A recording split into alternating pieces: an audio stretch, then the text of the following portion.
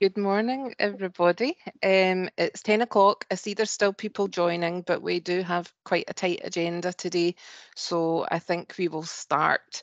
Um, I'm Leslie McFarlane. I am the portfolio lead for the Excellence in Care and Healthcare Staffing Programmes um, within Healthcare Improvement Scotland. And I would like to extend a very warm welcome to all of you on the call um, in what is our third of our winter webinar series that we are running. To date, we have had 360 attendees on our webinars, and I think today we've got another 260 people um, who are registered to attend today, so it looks like it's going to be another full session. Um, and we really do appreciate people taking time out of their um, very busy schedules to, to come and join us um, on these calls. So today um, we're looking at systems under pressure. Um, and when we consider that frontline teams are already stretched to the limit, um, we want some to discuss how, how we manage surge capacity. Um, we want to do that in a way that um, ensures that it meets the needs of the service, um, but also um, is done safely. And if you, you, you use um, good planning and you have good planning in place, you can avoid sort of pitfalls um, that, that would compromise your patient care um, going forward.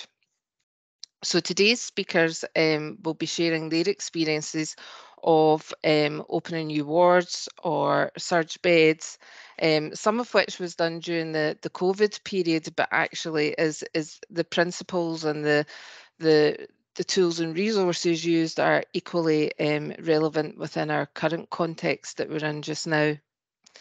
Um, at the end of the session, we'll also be sharing um, a toolkit that we have developed that provides those tools and resources that will support teams through implementing these processes within the um, the wards when they have to think about how they expand their capacity um, in the coming months.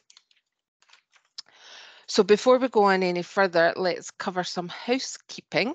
So uh, next slide, please you are all muted and your cameras are off um, for the time being. Um, we have two speakers today and um, feel free as we go along to put any questions or comments in the chat box. Caroline is going to be um, scrutinising it carefully and we will um, take those questions at the end. Um, at the end, we'll also have our Q&A session, so as well as questions in the chat box, feel free to put your hand up and we will try and get through as many questions as we can. Just to let you know as well that um, the session will be recorded um, and the, the link to the recording will be circulated next week. Um, so if you're not speaking, if you can keep your camera off and keep yourself muted just to um, make sure that the, the speakers could be heard, that would be much appreciated. So our first speaker today is David McArthur, OBE. David is the Senior Nurse for Corporate Services in NHS Highland. He initially trained as a mental health nurse, um, but specialised in intensive care and theatres. And throughout his career um, until 2019, he maintained a parallel role as an Army Medical Services reservist and was the first nurse to hold the rank of brigadier. Um, David has a strong background in operational planning and uh, clinical simulation and has been responsible for building treatment facilities in adverse environments. So I think that made him an obvious choice for the Chief Nurse of Operations for the NHS, Louisa Jordan. So David, I am very um, happy to welcome you onto the call today and I will hand over to you. That's great, Leslie. Thank you. Thank you very much. And, and good morning, colleagues. Uh, how did I become involved with the Louisa Jordan? Uh, I was Director of Nursing in NHS Orkney at the time. And late March 2020, the Scottish Government made the, the decision to open up the Louisa Jordan. Uh, shortly after that, I was in the I was in a SEN meeting, uh, and the the implications for what was going on uh, in but you know in opening the the Louisa Jordan uh, were being discussed, and clearly part of the discussion was who's going to run this thing. Uh, and in those days, we we didn't have any teams in anything. We were doing it all on telephone, and I was quietly drinking my soup, uh, listening, thinking, I'm up in an island. Nobody's going to want me to go down there and do this. Uh, and Mags McGuire, God bless her, uh, said, Well, why don't we get David to do this? Because he's done this sort of stuff already. Uh, the call was then taken up by uh, Chief Nursing Officer uh, Fiona McQueen. And I sort of choked and she said, Well, could you, would you mind coming down and doing this? I sort of choked on my soup a bit and said, Well, and then the, the call dropped. So by the time I get back in the call, I found that I was now I was going to be the, the, the head nurse for the internal operational clinical piece for the build of the Louisa Jordan, uh, and I had to get myself down to Glasgow very very quickly. Uh, so went down there, and you know the situation, as most of you remember, was one of bed reducing reducing bed availability, tremendous efforts uh, in using existing staff and real estate to expand capacity. And the response, as elsewhere in the UK, was to create a new temporary treatment facility where patients could be cared for during the post-acute phase of their illness other COVID illness. And in our case, for the Louisa Jordan, it was within part of the criteria for admission was to be within five days of discharge to home. Uh, slide two, please. Uh, so I went down to Glasgow. Uh, with the sigh of relief from the rest of the nurse directors, who I have to say were absolutely fantastic in the support uh, throughout the, the process. Uh, and I couldn't praise them highly enough. Uh, but I did feel myself getting dropped in it a wee bit. But uh, look forward to it nonetheless. So what were we supposed to provide there? Uh, incrementally, we were supposed to provide 40, then 80, then 120, then 300 beds with the capacity in the SEC to accommodate 1,200 beds, of which up to 30 of those beds would be intensive care beds, and that was fully piped, fully equipped, uh, and and ready to go within three weeks. So you can see there was probably a bit, there was a bit of a, a mountain to climb. Uh, we had to recruit and train our workforce, uh, and that was mainly volunteers from from across the health service, and some return to practice folks but we had to orientate and adapt those those folks to the specific environment, which had compromises in terms of its functions, but not its safety, I hasten to add. A key element of the induction process uh, was engagement with the leadership team and visibility of that leadership team. And we had and we we adopted a very deliberate uh, policy of being there on the ground when people were training and helped to support that training staff well-being was a key element of what we we did because we could train and build the team, but we had to keep the team functional.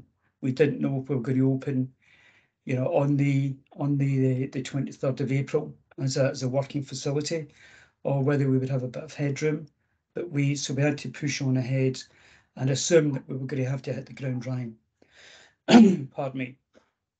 In terms of governance, we had to provide a governance structure but we were able to start from scratch uh, and we were able to refine system uh, to minimise bureaucracy and to provide assurance covering the clinical and non-clinical elements. In terms of infrastructure, the SEC and the hydro obviously are non-clinical environments, but they do go back to, in the case of the, the SEC, back to 1985, and in case of the hydro back to 95, and that showed in the, the fabric when we started to, to build. And we had to do a lot of root restorative work on plant ventilation, drainage and water supply, as well as bringing in showers, bringing in uh, toilets and bringing in porta cabins to accommodate the, the stores and things. Another part of it, of course, is that it was absolutely unprecedented. No similar task had been carried out previously in Scotland. So we were really treading in, in unknown territory here. and there truly was a mountain to climb. Slide three, please.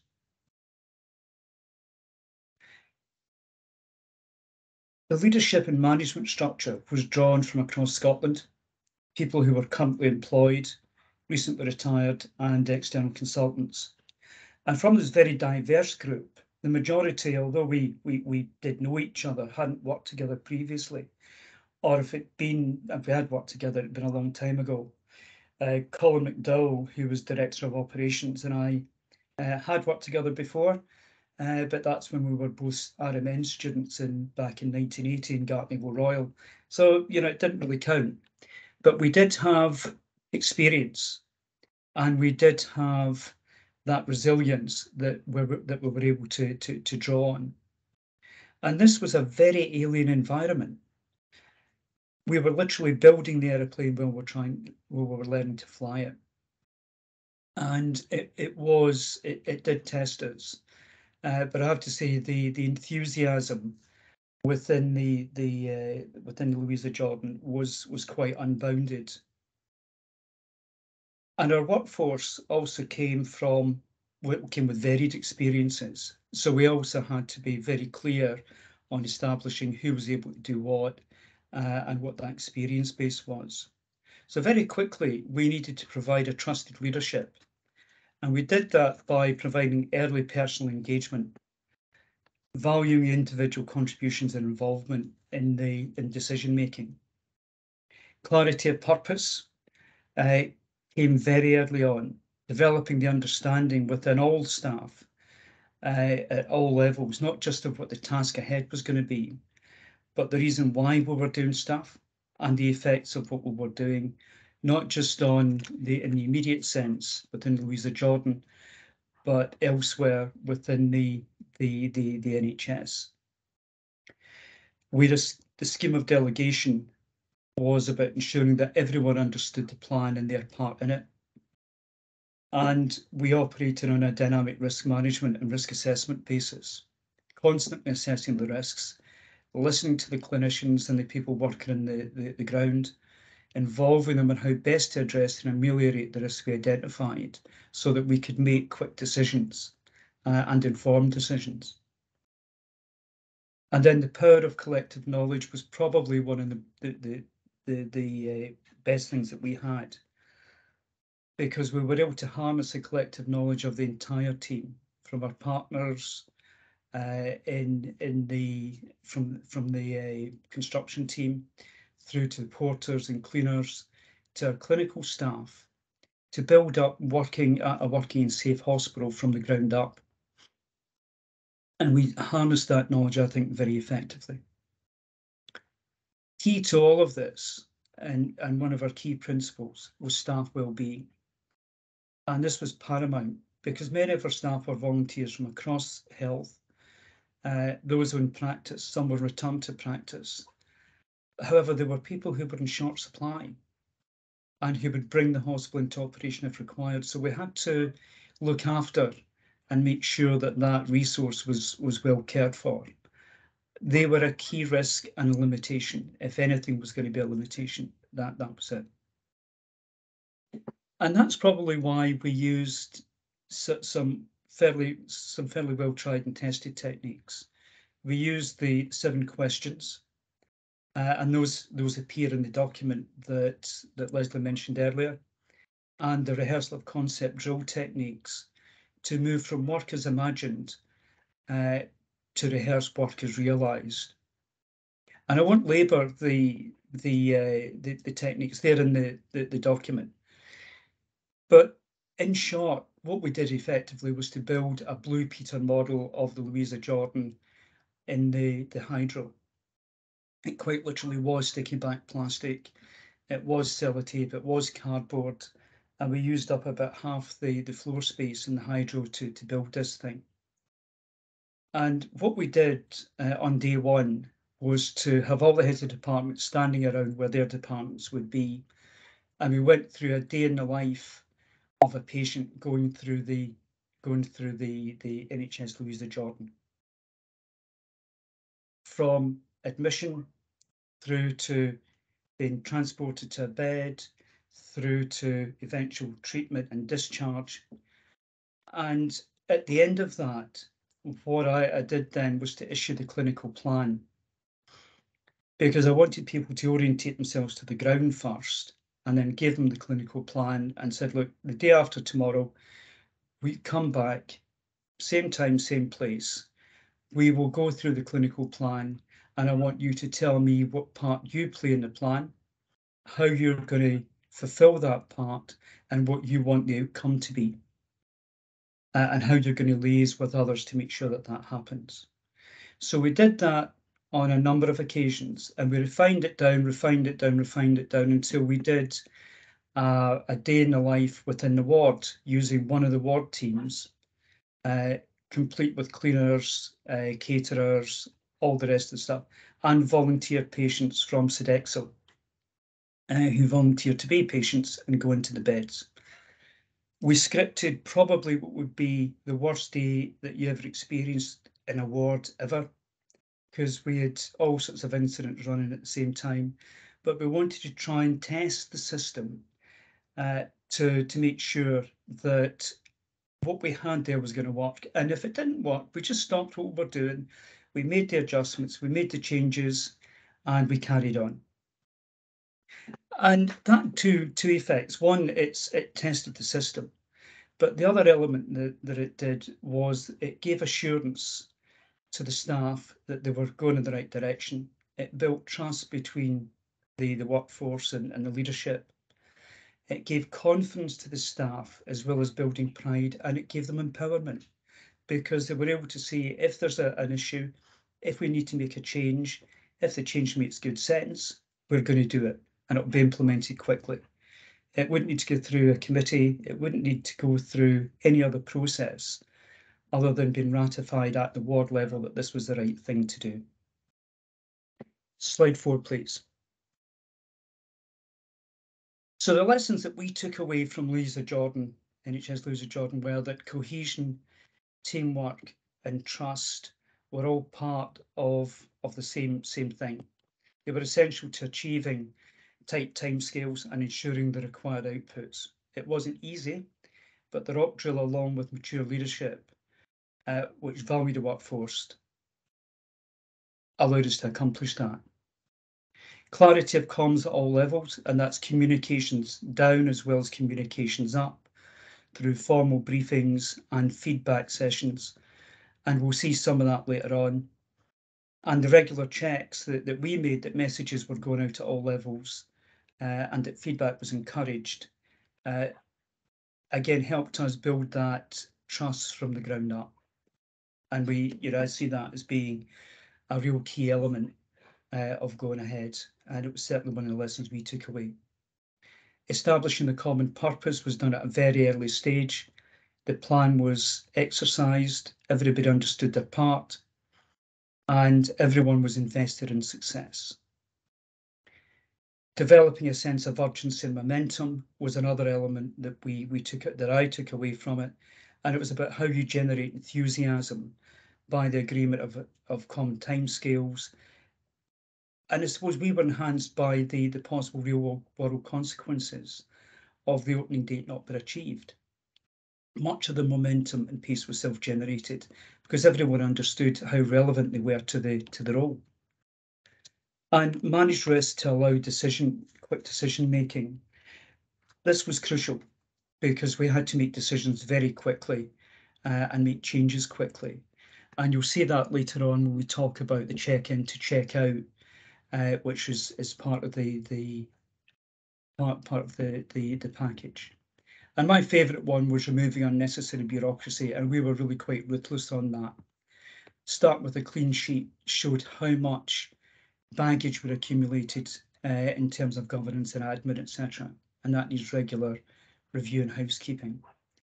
So I'll leave you with the the generate with the the generating triangle at the right hand side, and we've got capability there. We have got uh, concept and we've got the physical component, but without that moral component at the top, we're not going to get anywhere. And that was the moral component we concentrated on. Uh, if we move on to, to slide five, please, and that's the final slide. Uh, this is Louisa Jordan. Uh, it's the face behind the name. Uh, Louisa was born uh, 81 years before me, I have to say, but only two streets from where I came from. uh, she was part of the Scottish Women's Hospital that went to Serbia in, two, in 1914. She sadly died of typhus in 1915 and is buried in Niš uh, in Serbia. And ladies and gentlemen, I see I've, I've just about run out of time, so I'll stop there and I look forward, to thank you for your time, and I look forward to any questions you may have at the end. Thanks very much. David, thank you so much for sharing what has been obviously an extraordinary experience. I think the the chat box is quite quiet just now, but I anticipate as the session progresses that um, uh, there'll be questions for you at the end. So thank you very much. Great, thank um, you, I think what we'll do now is we'll trans transfer on to our, our, next speakers. So our next speakers are Lorna Turner and Karen McKenzie. Lorna is the lead nurse for quality improvement and standards in NHS Lothian. She qualified in 1994 and has extensive experience in orthopaedics and worked as a senior charge nurse for the orthopaedic trauma admission unit um, before she led the implementation of the care assurance standards at the Royal Infirmary in Edinburgh. She is passionate about embedding a culture of quality and person centred care and was appointed to her current role in 2020. Karen is a senior program advisor within the healthcare staffing program at HIS, but is also a practicing speech and language therapist. She has specialised in working with adults with acquired neurological um, conditions and has developed clinical leadership and QI capability in a number of boards, including remote and rural services. In her current role with HIS, she leads on co-producing education resources to support skills and knowledge development in relation to the Health and Care Staffing Scotland Act and works with colleagues in the NHS services to understand and embed the principles of the staffing legislation. So thank you both for joining us and I will pass over to you.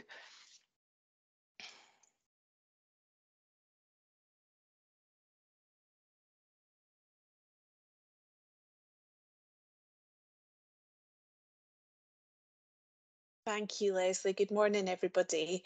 Um, so um, together with Wendy uh, Drysdale, um, we have created a checklist tool to support teams and in particular the senior charge nurse when they are faced with creating capacity when systems are under pressure. Next slide, please. So back in January 2021, in my current role, um, I was asked to support a new Interpost senior charge nurse, Band 7, while she navigated her way around opening a new 20-bedded rehabilitation ward to provide extra capacity um, within her site during a, another peak of COVID admissions. Um, and at the time, I created a very basic checklist tool for her, which incorporated all the factors to consider when opening a new ward. So although the senior charge nurse had been an experienced deputy charge nurse, this was uh, by far her first experience in the Band 7 role and was trying to understand the many distant different systems, processes and factors that she that needed to be considered to safely open a ward at pace. She was facing several different challenges, dealing with new tasks within an unfamiliar environment and dealing with a workforce unfamiliar with each other. She needed to build confidence and competence in her workforce whilst working at pace. She needed to build and enhance teamwork within a new team, focusing on communication and, and really important to her, her staff's well-being during this period of change. And finally, she knew she needed to avoid harm, but at the same time increase her knowledge of all the risk uh, management systems. Next slide, please. So in April 2022, I was approached by Caroline Craig from Health Improvement Scotland and asked if I would be involved in developing checklist tools building on the template I had created for the senior charge nurse back in uh, 2021 to support areas who required to increase capacity during periods of system pressure with, with a vision that it would be available for all NHS boards to provide a structured approach to opening a new ward changing the function of a ward or expanding the current ward capacity.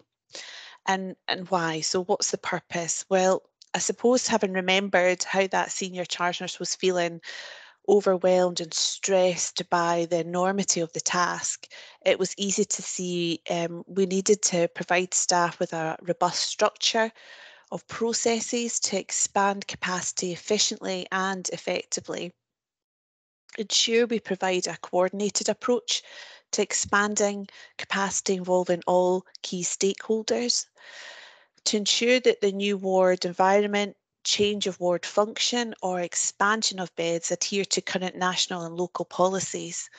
And finally, it, to provide a process to mitigate risk, allowing for informed decision making. Next slide, please. So how, how to use the tool. So we created this on Excel with uh, an idea that this would be used as a, a working document that could be downloaded. The tool can be used as a separate standalone document, um, allowing for any amendments and a version control, which I, which I think is key to keeping this tool relevant and an ever evolving document. So the tool is split into seven sections or tabs. Um, the first tab um, is guidance and really just summarises what I've just talked about in the previous slides. Tabs two, three and four are the new ward checklist, change of function checklist and expanding ward checklist. Uh, and the user would just go in and select which checklist matches your requirement. And then tabs five, six and seven focus on um, guidance on workforce uh, modelling, the workforce template and an example template, providing the user with clear instructions on how to populate the template. Next slide, please. So um, the layout of the checklist follows the same pattern. Um, the first section allows the user to input data and build their profile. So looking at who the senior charge nurse is, the consultants, um, the current or proposed ward speciality and current proposed bed occupancy. Um, it allows you to input uh, the current whole-time equivalent uh, nursing staffing for both trained and untrained, uh, medical staffing, sessions provided and potential sessions required, um, AHP staffing whole-time equivalent, and also looking at your whole-time equivalents for ward clerk or housekeeper. Then we move into the tool itself, which um, is separated into eight columns. Um, the first column is the theme, uh, and we've broken that down further to look at environment. And what I mean by that is the ward area, health and safety, security, fire, safety awareness, communications, telephone access, and domestic services. We then have a section around equipment, ward equipment, laundry, IT, stores, top up, catering, and clinical equipment that is required.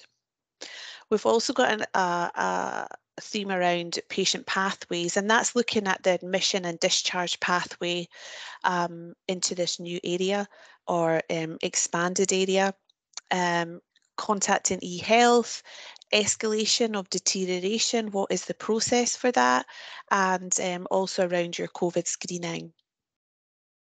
Um, the next theme looks at ward processes um, and routine communication. So thinking about informing staff of the shift times, if this is a new area that they're moving to, the handover times, the ward huddles, thinking about your MDT meetings, medication rounds, etc.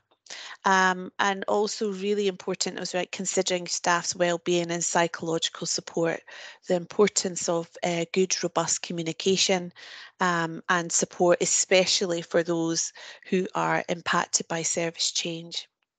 And then the last theme uh, looks at workforce, um, considering your medical nursing, ANP and AHP staffing, your finance and your budgets, your new cost codes, your e-rostering, and building that ward profile um, on your e-rostering tool the use of the nurse bank, informing them this is a new ward, um, and finally thinking about your staff training and their competencies. So column two, just as it says there, it offers information on which department to contact, linking to each of the themes, i.e. estates, health and safety manager, procurement, um, pharmacy, manual handling, etc. Um, and on reflection with the senior charge nurse I supported in 2021, this was key for her, knowing what department to contact or who to contact to provide her with the information she needed.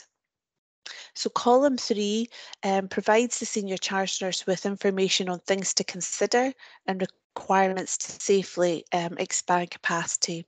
And I suppose this is the section that provides guidance on all the factors that usually need to be in place, but sometimes um, get forgotten until you need uh, that piece of information or kit. Um, so I'm thinking about the storage uh, space, the glove and apron holders, your door entry system and access, how many telephones you actually need, the arrest trolley, where that's going to be situated, drip stands, information boards above patients' bed spaces, your contact details for your staff, your manual handling equipment, um, documentation and, and I, IT access, how many um, computers are you needing? So column four um, provides links to uh, infection prevention control policies and procedures. Um, and we included uh, this was you know due to COVID pressures. However, these checklists aren't just for use when there is a surge in, uh, in COVID cases. Column 5 allows the user to assign a particular responsibility to a member of the team um, and column 6 provides a review date and column 7 allows the user to document the target date giving all members clear dates and responsibilities that need to be worked to. Column 8 gives the space to update any progress that has uh, been happening and column 9 allows the user to comment on the status of the requirement and whether it's on track, completed or delayed. So therefore it's just making it a, a, a user document. So I'm going to hand over to Karen who's going to explain the workforce template. Thank you. Next slide. Thank you, Lorna, for setting the scene there with uh, with with the tool. Um, in terms of the um, the workforce element of the the template. Um, we were we were designing that for clinical and workforce managers so that they have a quick way to calculate the whole time equivalent staffing requirements, um, and importantly that skill mix um, using professional judgment. There is that caveat, of course, that that will be used in conjunction with your specialty specific professional national guidance.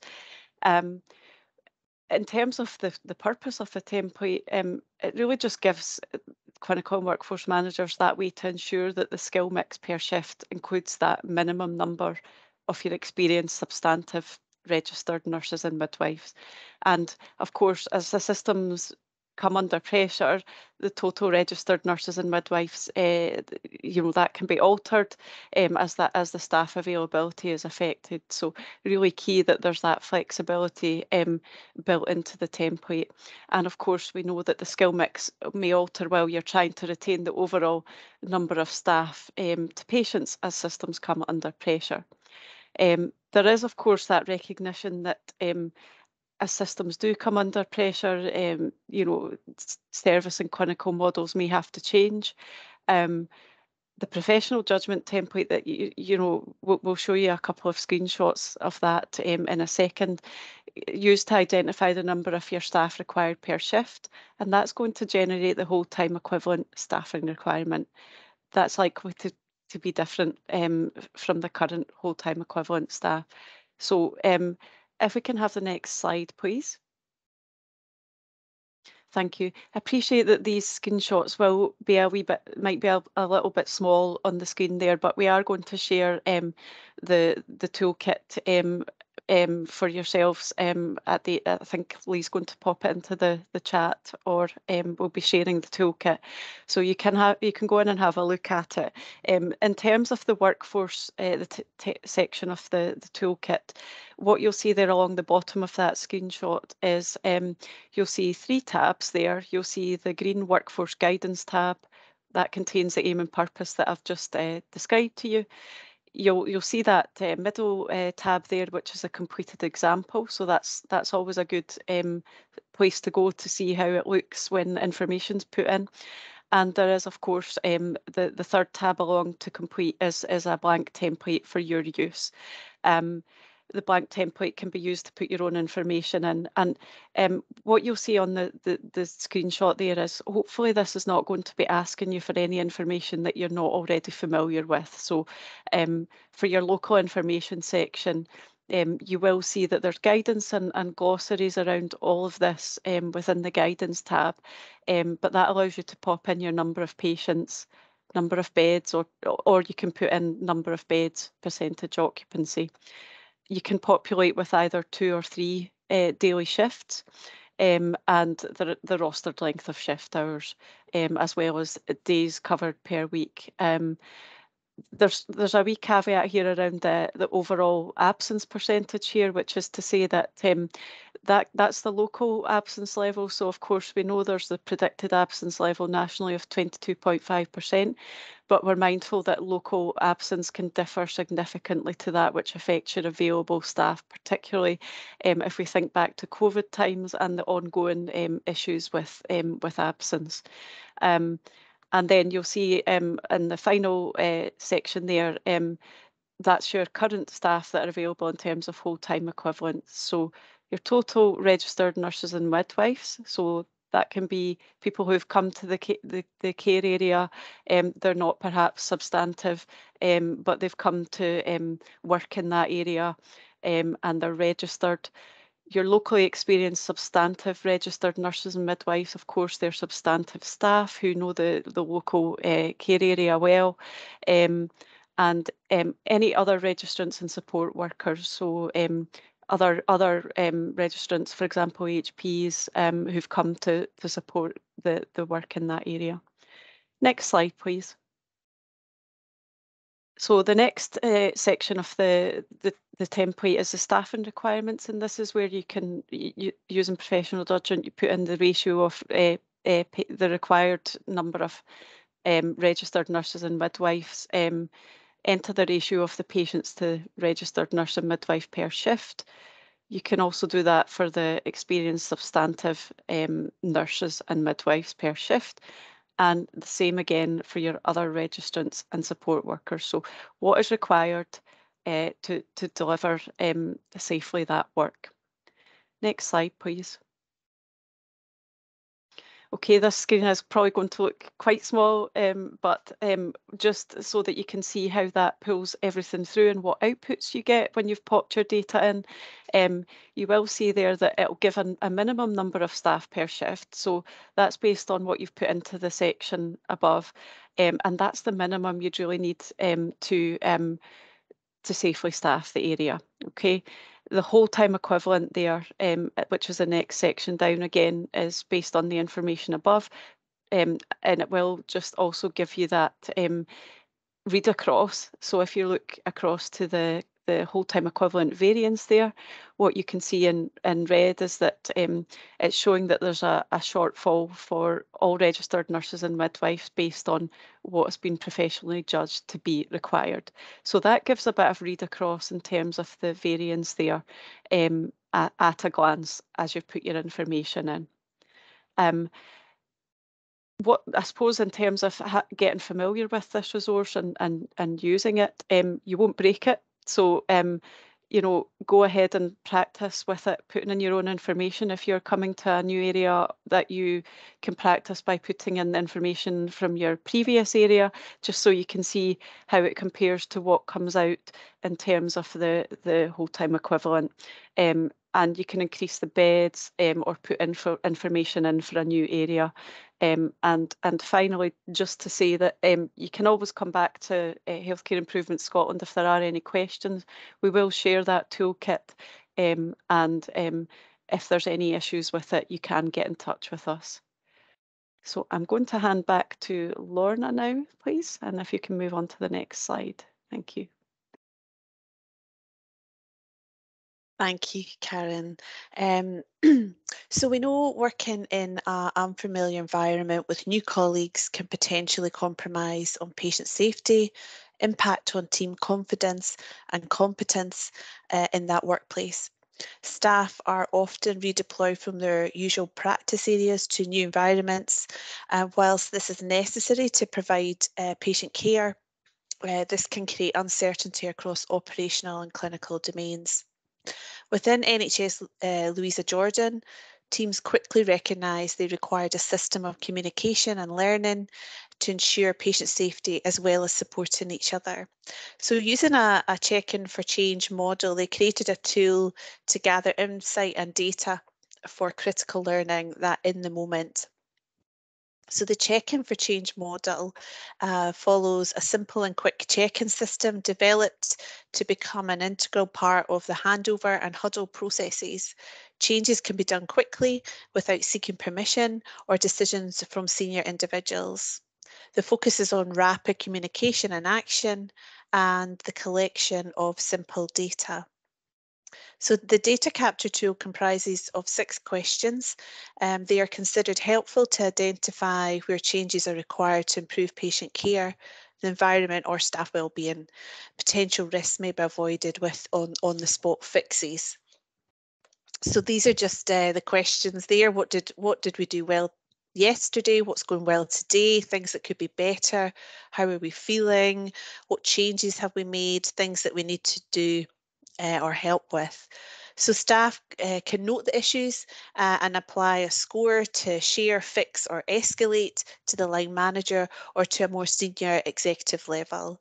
Having these conversations helped uh, to identify risks, instigate change and agree issues requiring escalation. So uh, for me personally, I've never used this check-in for change model. I shared it with the senior charge nurse I'd supported back in 2022, um, just last week. She wished she'd had this been available to her at the time, um, as she felt very isolated. And, and she used the words flying solo, dealing with many factors she had never been exposed to previously. She liked the idea of having a simple and quick check-in system um, involving the whole team creating opportunities to learn and adapt together and definitely could see this becoming an integral part of the daily routine at handover or uh, huddle processes. Next slide, please. That's me. Thank you for listening.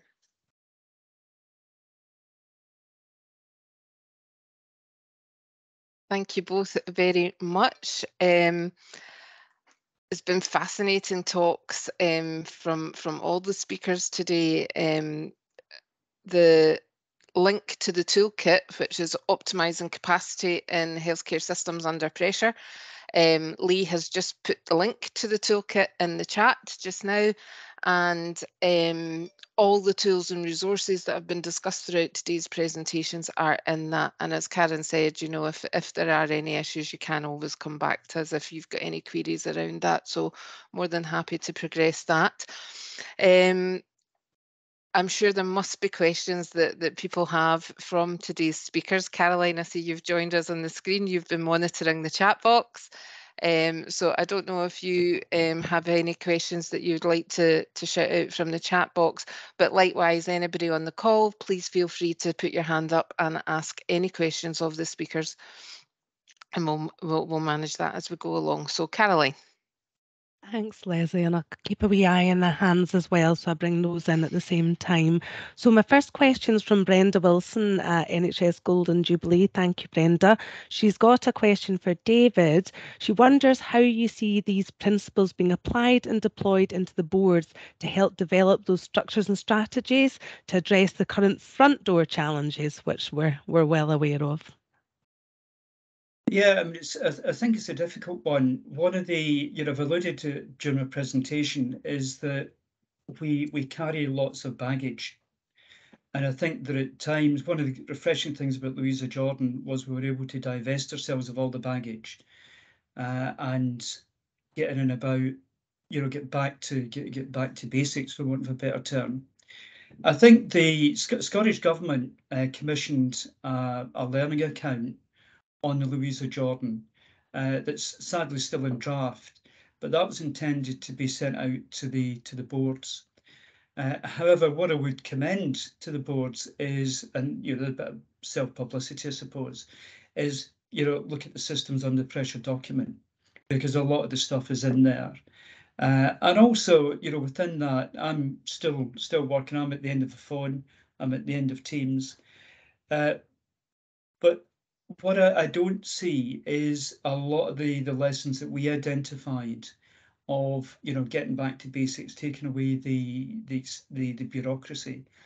I don't see much of that in the boards. Uh, I'll be honest, and I can see that because I'm at the end of my career, uh, so so I can see anything I like now. But the, the the fact is that we need to try and clear away a lot of that that baggage, uh, and I think once we do that, we can then concentrate, get back to what we're good at. You know, concentrate on patient care, go back to the bare essentials, and the check-in to check-out piece, and the check-in to check-in for change piece. I think is a really good example of that. And these are things that we can do ourselves. You know, we don't need the boards to to to do that for us. You know, and these are things that you know our band sevens, band sixes can implement in their own areas. And I suppose that's the purpose of the document. It's not a strategic document it's one that's that's that's uh, very operational and is is easily applied. What I would say though is that the the lessons, the rock drills, and the seven questions, all that sort of stuff, look at it in terms of principles, and these are changes that that that you can make uh, in your own workplace. Thanks, David. I've got a question here from uh, Lisa Clare from the Healthcare Staffing Programme, and I'm going to open this up if I could to to both Lorna and David and Karen, because um, she's asking in relation to workforce. So she's asked what kind of le uh, lessons can we learn from both directing the Louisa Jordan, but if I can extend that to opening the other uh, areas as well, where there was a real focus on um, providing staff for the pandemic. Um, and that was a real focus at that point of time. How can we take learning from that into our current systems that are really under unprecedented pressures now? So looking at the workforce, how we mobilised workforce, I suppose, to support those surge capacities that we did during the pandemic. What lessons, what key lessons could we learn now? I suppose Oh. Sorry, Carolyn. Uh, sorry, uh, Lorna, go ahead. I'm, I'm probably going to say something very controversial, but anyway. Uh, so I suppose um, some of the learning that, that we've picked out is around when staff are uh, redeployed to, to, to, certain areas. It's about their knowledge and skills and actually uh, understanding what they are and actually being able to um, direct staff with specific knowledge and skills to the appropriate areas instead of just everybody just goes out to certain wards and then that just builds up that huge amount of anxiety for that staff member because they're appearing on a ward and saying I, I could do this but I can't do that and then that adds a lot of conflict within ward areas um, uh, around staff coming to help um, you know, looking back to, to, to when the, the pandemic was, uh, when it first hit. So I suppose it is about understanding their actual knowledge and skills.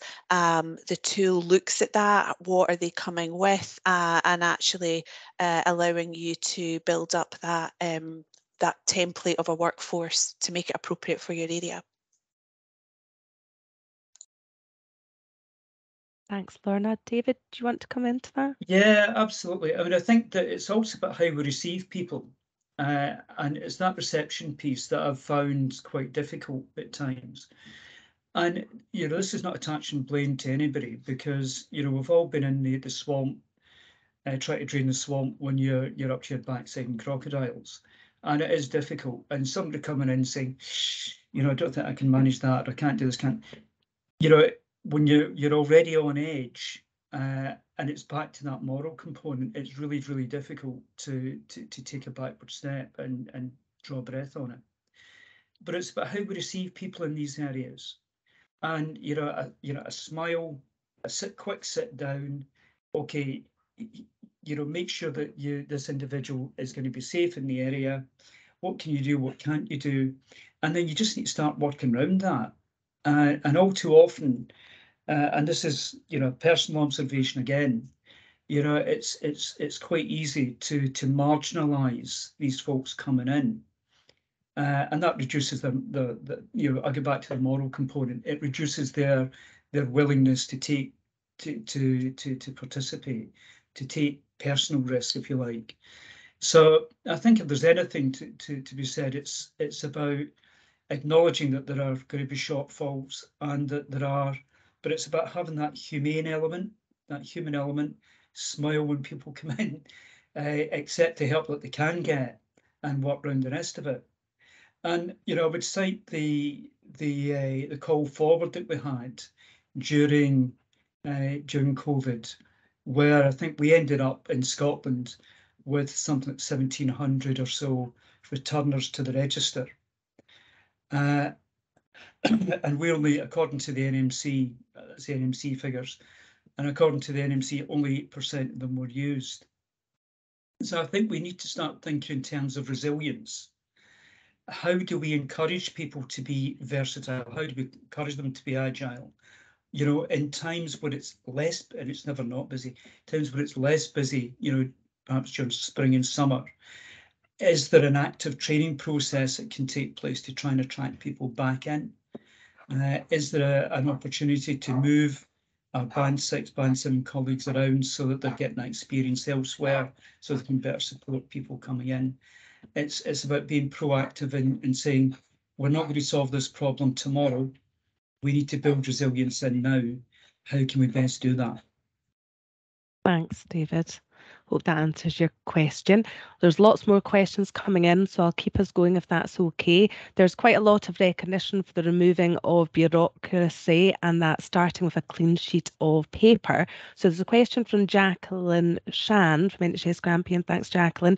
In terms of processes, in your wash up wins and learns did you review that and feed that into so i suppose what aspects of what did you learn that you've put back into mainstream uh, practice into services? Yeah we've we fed back quite a bit into a uh, scottish government into the debrief paper. And, and i think that's you know it's it's still still not been been finalized uh, in terms of what I what I fed back when I went back to NHS Orkney, it was the, the, the beginning of the review for examples of policy, procedure and process. You know, do we really need a policy for everything? Do we really need so everything written down? Or and that sounds heretical. Uh, but I think we need to be to be pretty ruthless and do some good housekeeping. We started that in Orkney. Sadly, no no fault of any NHS Louisa Jordan, I hasten to add. I ended up quite ill uh, in October that year uh, and only came back to work properly last year. And I'm, that's why I'm down in Highland and I see Williams on the call with a very distinctive avatar there, which is a true reflection of him, I have to say. But the what we're doing at the moment in Highland is doing exactly that. You know, we're reviewing our policies and procedures, partly driven because they were they were they were out of date, as as we see in every board. Uh, but part of that is is about asking the, the salient questions about do we need all this bureaucracy here? And that then leads on to our governance piece. And we, you know, again, it's it's about this getting back to basics. And we've almost generated a, an industry uh, around all of this, you know, I mean, I, I, and I don't mean to be disrespectful of quality improvement colleagues at all. The, the methodology is absolutely sound but at times it becomes almost a it becomes a barrier, an impediment rather than a uh, rather than a tool to to take forward. And it's you know very much it's down to individuals. But I think we need to be really careful when we start to to use these things that we're we're doing them for the right reason. And it's and again another element that we're we're dealing with in in in uh, Highland at the moment is we're looking at all our meetings within NMAP and saying, do we need all these meetings? Because we're seeing duplication of effort. And sometimes these things just build up and build up and build up, initially for a really good reason. and then we we lose the reason why they were there, but they're carrying on. So I think there's lots of stuff that we can do that, that will start to cleave away. And the aim is to give more time, and it's to give leaders and managers thinking time, and it's to give our clinicians time to to, to do what they do best. Thanks, David. Um, I've got a couple of questions still in the chat box. Um, I'm going to bring in Ruth Thompson, who's popped her hand up, and then I've got a few, couple more. I'm hoping we've still got time. So over to Ruth. Thanks, Caroline, and I'll be really, really brief. So um, I supported Louisa Jordan after the build, so all the, the great work that David um, highlighted and was achieved within the first three weeks. Um, However, I don't want people to walk away thinking that Louisa Jordan didn't have governance structures because after that initial build, we actually did have to start looking at what mm. are the policies and procedures should we should we receive patients. Um, and I, you know, one I think it was Lisa Clare who had said what would help.